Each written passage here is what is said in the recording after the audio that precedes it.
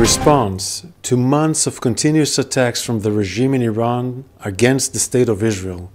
Right now, the Israel Defense Forces is conducting precise strikes on military targets in Iran.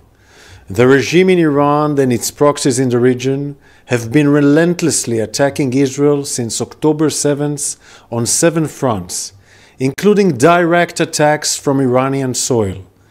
Like every other sovereign country in the world, the State of Israel has the right and the duty to respond.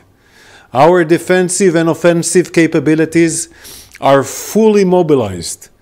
We will do whatever necessary to defend the State of Israel and the people of Israel.